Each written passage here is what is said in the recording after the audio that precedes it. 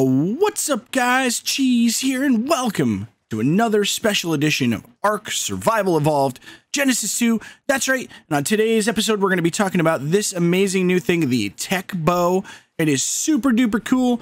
It fires all sorts of different arrows and does all sorts of cool stuff. We're going to talk about this thing. I'm going to tell you guys how you make it, what level you get it, what kind of stuff it can do. So if you guys like this video, please do me a huge favor and flex on that like button. Yeah! I still don't have my Archer Flex emote.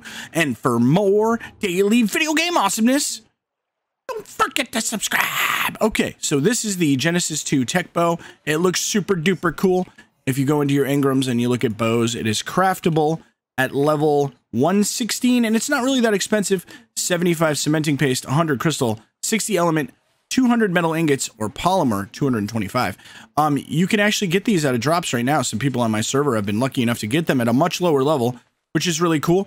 They run on element shards and each of the um different types of arrows uses a different type i mean a different amount of shards. So the amounts as follows are regular arrows metal arrows cost 5 element shards flame arrows cost 10 element shards Trank arrows are 20 element shards, and explosive arrows are 80 element shards. So to change the amount, the uh, type of arrows you're using, you push R, hold down R. It's your reload button on console, whatever the reload button is, and then you can choose between trank arrows, flame arrows, metal arrows, explosive arrows, and then you can set the firing mode.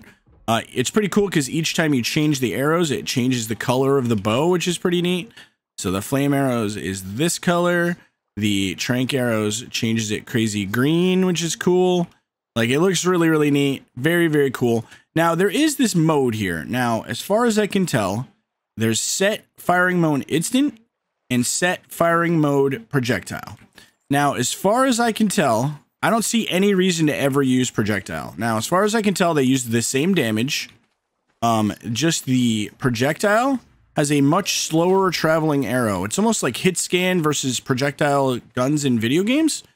So it's very strange to me that this would be an option, as I don't know why you would ever want it to not be on insta hit and have just hit scan arrows where they just, you know, laser like that. They do the exact same amount of damage. They use the exact same amount of resources to fire. So to be completely honest, I'm not really exactly sure why you would ever put it on projectile mode. If you know why you would put it on projectile mode, comment down below. Because I've spent a good amount of time playing with this bow this morning, and I cannot figure out why you would want to do that. Um, as I said, it fires all the different kinds of arrows, trank arrows. Uh, let's try it underwater. Flaming it. No. Uh, what do we got here? You can fire flame arrows underwater, but they just work like regular arrows. It doesn't look like they really cause the thing to cause on fire. But you can use it underwater. Uh, let's change to trank arrows. Can we trank out an otter? Wrecked, otter. Mm, pow. Pow. There we go. I'm sorry, otter. I'm sorry. It was you or me. He was coming at me. You guys saw that. I had I had to put that otter down. He was coming at me. So you can use it underwater. It doesn't look like the flame arrows work. Let's try the explosive arrows underwater. I'm going to assume these will work. If you actually hit the target. Oh yeah, they do. Those definitely work. Very, very cool. Uh, something else that you can do. Um, you can also hop onto your Tek hover sail or any of your dinos that allow you to shoot off the back. And you can pull it out and you can shoot off there as well. You can uh, fly around on your hover sail, shooting arrows. Hold down R while you're flying and you can change them. The metal arrows look really cool in the blue. So as you can see, it does the same amount of damage. Uh, it also uses the uh, same amount of uh, element shards. So I really, I really still don't understand exactly what the projectile mode is for. Um, it obviously makes it much more challenging to hit your shots with the slow moving projectile. So maybe, see, like, look how long it takes to get there in the projectile mode. But if you put it on instant hit, it makes it much easier to hit things. It just like, it gets like, it basically goes instantly there. So I'm not sure why you would ever want to put it on projectile mode. But yeah, that's basically everything you know about the Tek Bow. Super duper cool new thing. It looks really awesome. It's really fun to play with. You don't have to carry different kinds of arrows if you want dam. You know, you don't need now a trank gun and also a, a damage gun or a you know a trank a trank crossbow and a damage crossbow.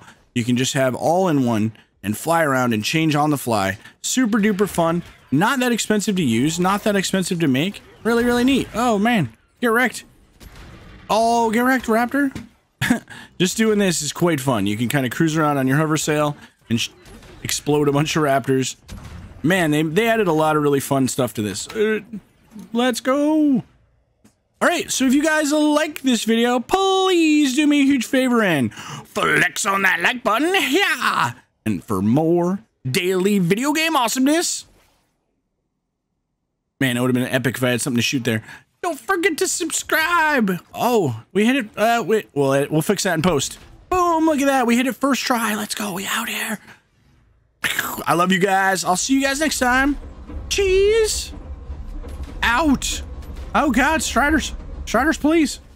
Ciao.